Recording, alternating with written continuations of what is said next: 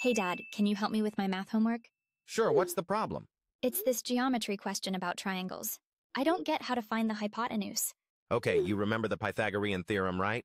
A2 plus B2 is C2, where C is the hypotenuse. Yeah, just forgot how to apply it here. One side is 3, the other is 4. What's C? Square 3 is 9, square 4 is 16. Add them up. 9 plus 16, back 25. So C to R 25, right? Exactly, so C is the square root of 25. Which is 5. Got it. Thanks, Dad. You're a lifesaver. No problem. Always here to rescue my kid. Now, can you help me with the next question? It's about angles. Shoot, what's the question? It says if one angle is 35 degrees, what's the measure of the other in a triangle? Is it a right triangle or just any triangle? Just a regular triangle, I think. Sum of all angles in a triangle is 180 degrees. If one's 35, the other two add up to 145. But the question asks for the other angle, singular. Maybe it's a two-angle problem? Is there another known angle? Oh, wait, it says the second angle is twice the first. All right, call first angle x error of 35, second angle 2x error of 70.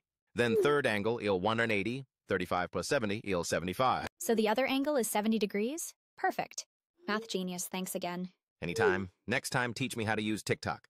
Deal, but only if you don't embarrass yourself. No promises.